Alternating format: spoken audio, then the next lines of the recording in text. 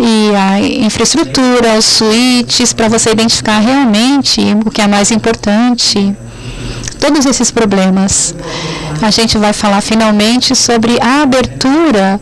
Você tem um fornecedor neutro, uma plataforma. A gente entende que a Schneider Electric resolve todos os problemas no mundo inteiro. A gente trabalha então com especialistas em tecnologia, parceiros, usuários finais, clientes, para pegar essa informação, trazer a bordo, trazer num painel único que a gente consegue olhar, acessar e maximizar a eficiência. Resolvendo todos os desafios novos, usando Big Data. Quem entendeu o que é Big Data? Vocês estão tímidos? Ou estão falando a verdade? Tá certo. Mais uma vez, para definir o que é Big Data, são informações armazenadas em todos os lugares numa organização. Um exemplo bem comum, eu encontrei um cliente e eu perguntei para ele, olha, como é que você gerencia o seu data center, Júlio? Ele falou, olha, eu não tenho software hoje, eu tenho só os básicos. Tudo bem, então me fala o que, que você tem. Ele falou, olha, eu tenho 12 equipes que operam no meu data center, por exemplo. A equipe de energia na instalação, a equipe de TI, a equipe de redes, Windows, Unix, equipe Oracle, são várias equipes no data center responsáveis para gerenciar os dados. Mas o que é infeliz é que todo mundo guarda o dado para si. Olha, é a minha Bíblia, é minha, eu não vou compartilhar com ninguém. Isso é meu. São minhas palavras de sabedoria. Tem muito dado nessas organizações. Se você centraliza os dados todos num repositório único, com uma única fonte, como eu falei, um painel onde todo mundo visualiza que o data center e alterações que foram feitas daquela única tela. Como é que vai facilitar a nossa vida? Então, a equipe de rede vai identificar quantas portas estão disponíveis no RAC 23, no AEO4. Tem tantas portas disponíveis lá naquele corredor. Muito bom, eu tenho capacidade. Eu tenho que instalar 25 servidores novos, tá? Amanhã. Eu sou uma instituição financeira, a gente vai lançar uma promoção nova no banco, eu sei que a gente vai ter milhares de clientes querendo essa promoção. Tá bom. Eu tenho a disponibilidade, eu tenho analista de previsão. Realmente, senhoras e senhores, eu estou tentando dizer aqui que todos esses dados existem na organização na forma de desenhos, SQL, planilhas Excel e sistemas de monitoramento que vocês tenham. A gente vai juntar tudo isso num único lugar para que todo mundo visualize e Deus não permita que aquele engenheiro caia doente. Quem vai ser responsável se ele está doente para resolver problemas de rede que a gente vai ter amanhã? Isso aqui é as informações, os dados estão todos aqui, mas não é a Big Data. Tudo muda, tudo que está acontecendo dentro da organização, equipes diferentes que não se comunicam, como é que a gente integra todo mundo? Como eu falei, para você ter tudo visualizado num único lugar, dizendo informações reais e os data centers vão ficar eficientes e disponíveis.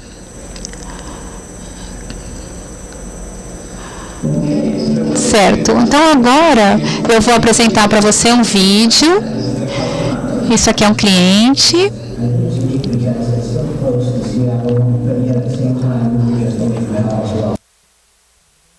district has about 4,000 students.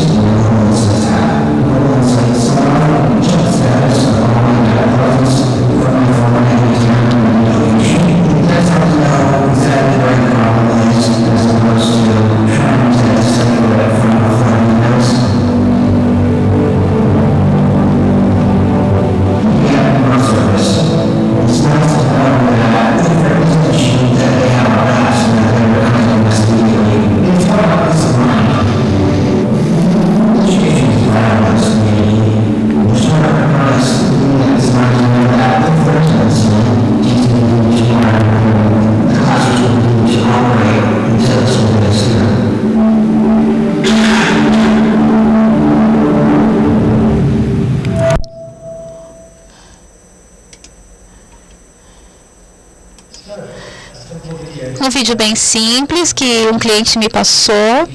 Ele viu a necessidade de ecoestrutura e ajuda a centralizar aquele data center para aqueles alunos que querem aprender todos os dias, maximizando a eficiência, especialmente se o data center está num lugar onde tem enchente ou vento, desastres naturais, como é que você mantém tudo funcionando?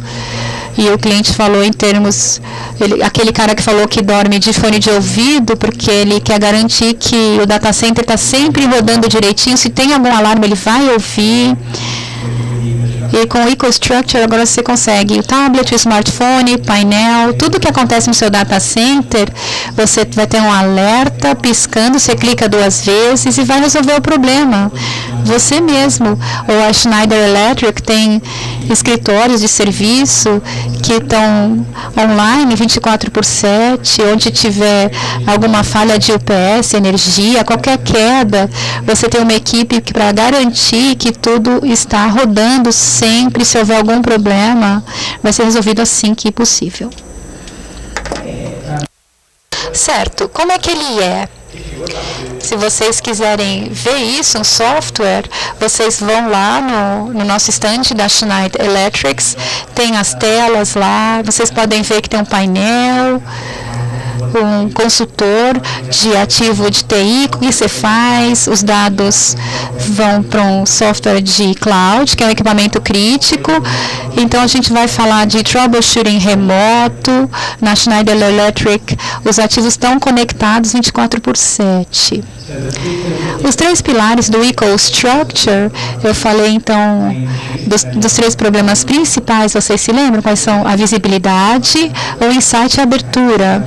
Então a gente tem o monitoramento e esse monitoramento vai dar o alerta, o alarme, alertas e alarmes, chegando no seu smartphone instantaneamente se houver alguma queda ou alguma catástrofe no seu data center, ou até um alarme básico, onde você vê um limite de temperatura que subiu meio grau Celsius.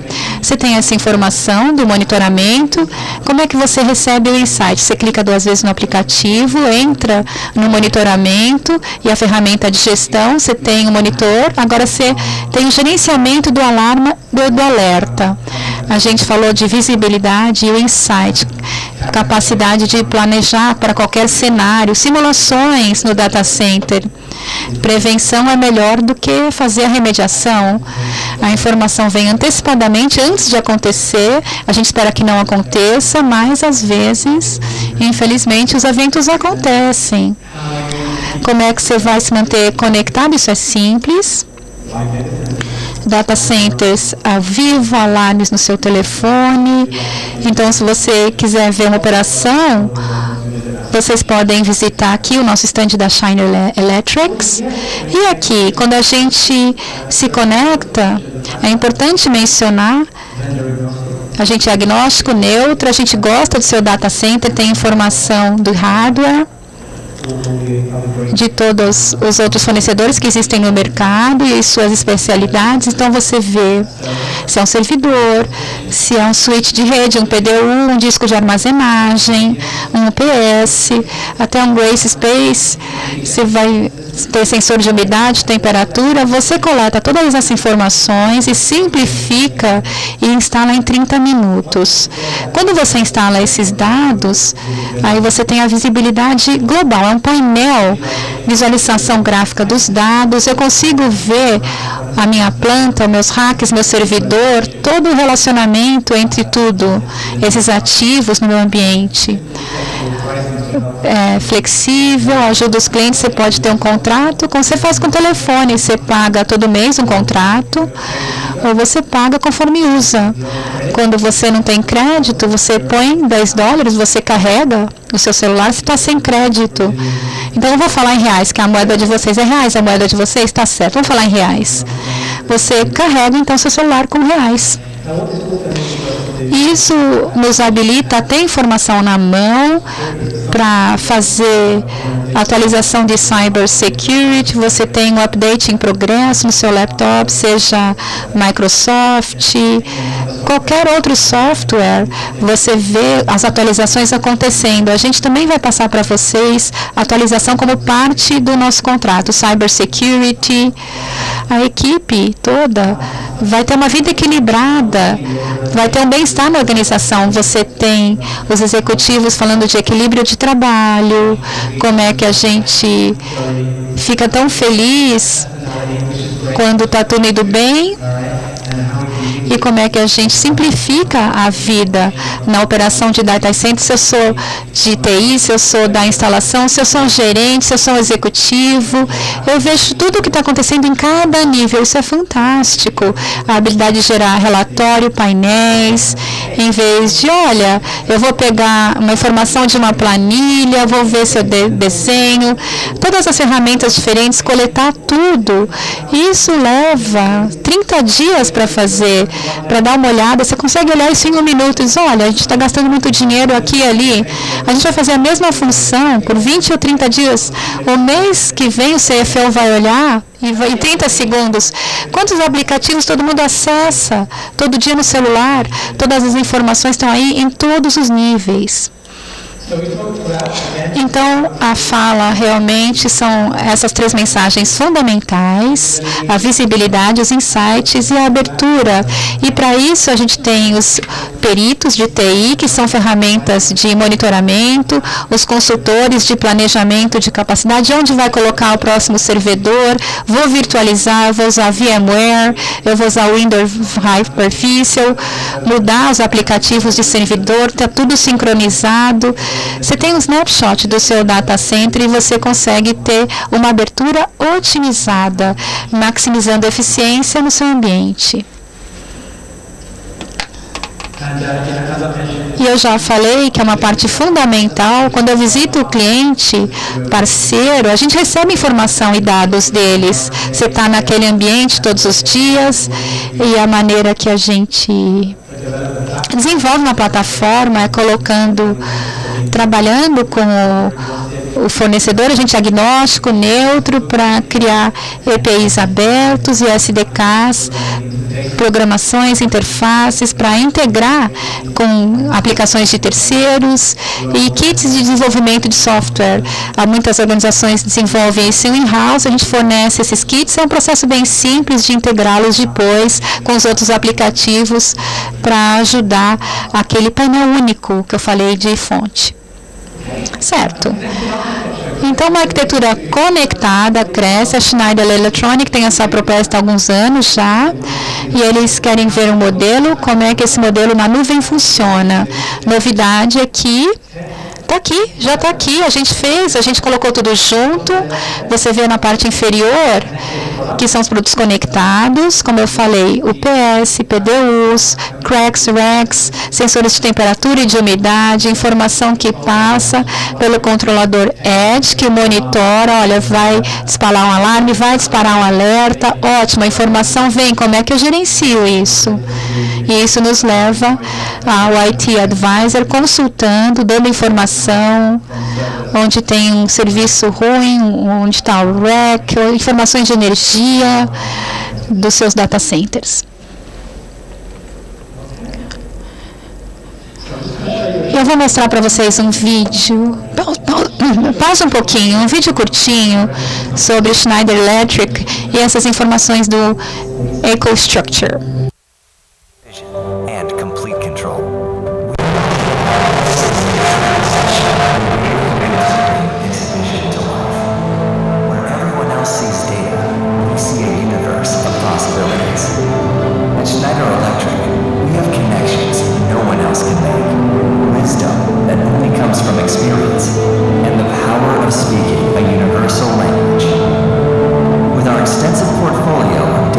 and IT infrastructure management software. We make you truly powerful and limitless. Just imagine the possibilities.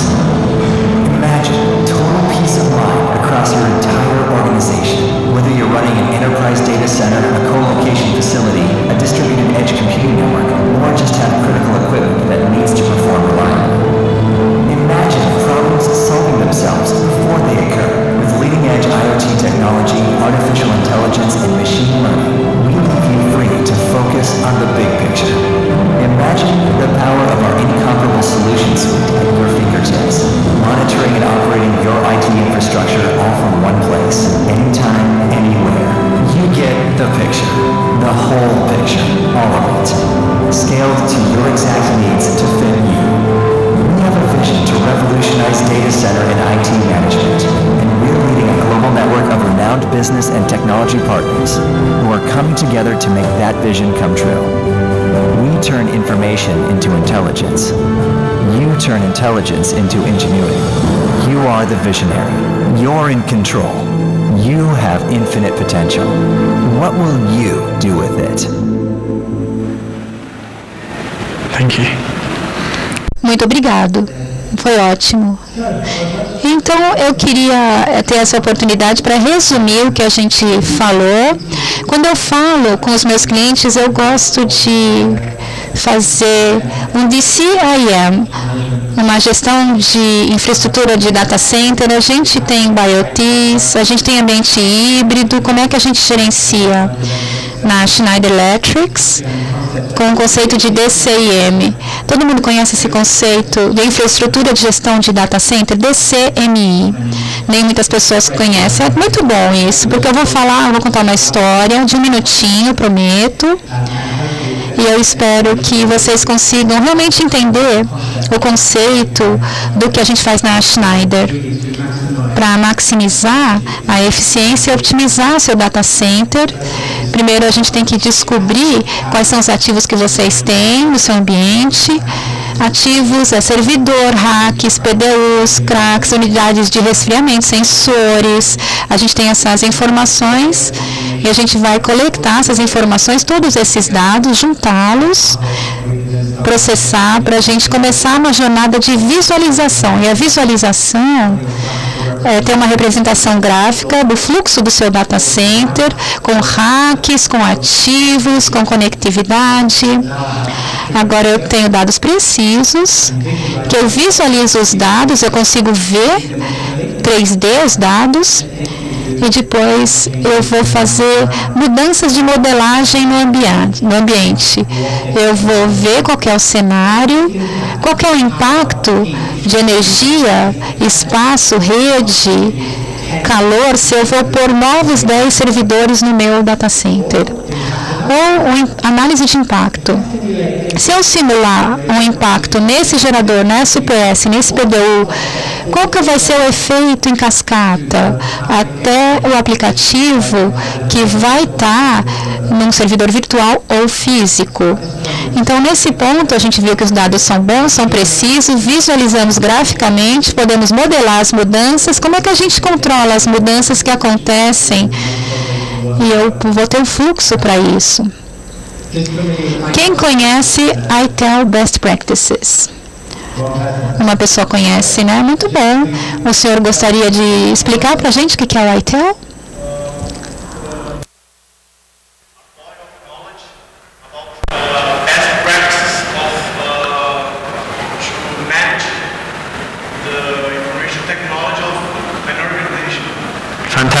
Muito bom. So, ladies and gentlemen, if you didn't pick... Para quem não ouviu o que ele falou, o ITEL Best Practice é tecnologia da informação, é uma biblioteca de estrutura. São as melhores práticas que a gente implementa na nossa organização para maximizar a eficiência de funções que acontecem ali. Se você muda alguma coisa, armazena no iMac, você tem um conceito das melhores práticas. E a gente fala das melhores práticas porque é bom ter essa informação, mas a gente tem que controlá-las. Como é que a gente controla isso? Você tem um sistema de ticket no processo para você ter várias tarefas ao mesmo tempo. E a integridade dos dados está garantida. E isso me leva então a relatórios e painéis. Você tem painéis instantâneos dando capacidade de uso no mundo inteiro, em qualquer lugar. E quando você tiver esses dados num painel e num formato de relatório, você começa a prever tendências, análises do data center. Então, o que, que vai acontecer no meu data center? Se eu colocar 50 servidores novos, 10x, 5 PDUs novas, todo mês, nos próximos 20 meses, eu vou ter capacidade? Eu consigo ter isso na minha base mesmo? Eu tenho que pensar em colocation, eu tenho que ir para a nuvem para gerenciar tudo isso? Então eu vou deixar essas ideias para vocês. E antes de eu sair, se eu estou aqui para perguntas, eu queria essa oportunidade então para apresentar meu colega, que é diretor de desenvolvimento da Schneider Electric para software no Brasil e nas nações aqui vizinhas. E essa oportunidade, então, eu vou receber o Fábio Carvalho.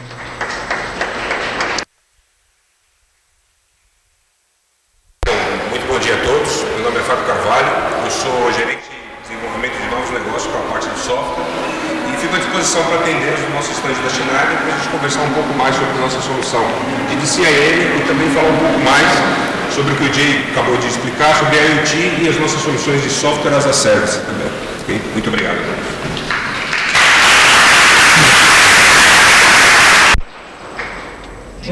Muito obrigado. Perguntas. Quem tiver pergunta. é, Então, quem não quiser perguntar em público, eu estou por aqui. Na equipe da Schneider vai estar por aqui. Para quem tiver pergunta, por favor, sinta-se à vontade para contatar a gente. Antes da gente terminar, eu tenho os brindes para vocês. Eu acho que o senhor ali que respondeu do ITEL Best Practice foi fantástico. Então, por favor, eu vou convidar o senhor para o palco para eu apresentá-lo e eu vou te dar uma- um brinde. Tudo bem, tudo bem.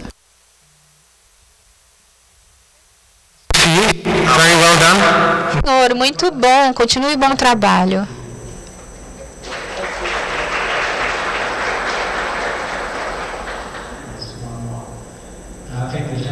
Eu acho que o senhor que está sentado na segunda fila, o senhor respondeu. O senhor deu duas palavras na resposta. Muito obrigado. E eu tenho um presentinho para o senhor. Qual é o seu nome? Tem outro Fábio? Muito bom. Senhoras e senhores, a gente vai fazer o sorteio aqui para quem preencheu e colocou na urna, preencheu a ficha. A gente vai fazer o sorteio agora. A Valéria vai pegar o vencedor desse prêmio maravilhoso.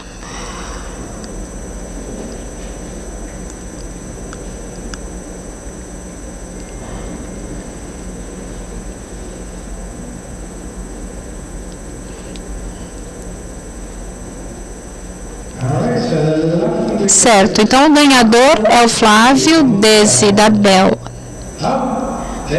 Aí tá lá, muito bom.